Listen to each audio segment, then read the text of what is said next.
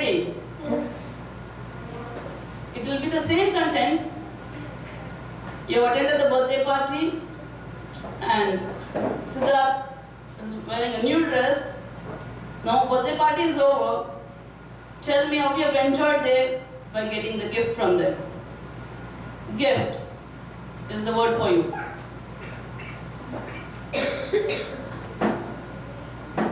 what will happen in the birthday party? Or you will be enjoying it? Join with the word gift. Return gifts. I enjoy the gifts because in gifts they'll give us chips, juice, chocolates. We like gifts because in gifts there are many things. So I like gifts. Thank you. Now